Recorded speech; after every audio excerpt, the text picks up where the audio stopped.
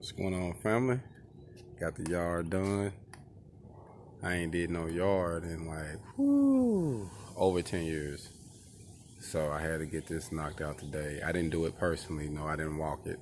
Um, but I found a gentleman in the uh, neighborhood that was doing yards, and I asked him, "Hey man, what you charge?" He gave me a good number. He came right down here and knocked it out. So um, it's good to network with your people in your area, man, because uh, talking to him opened my eyes up on a few other things. So it's good to network with your people who uh, got small businesses and doing side hustles. Don't don't uh, look over the small man just because you're on a certain level. You know, I just want to say that because a lot of times we'll grow and we'll forget about the little people, but a lot of times the little people be well connected. They be well favored. And you don't want to despise someone on the bottom because they might be connected to someone on the top.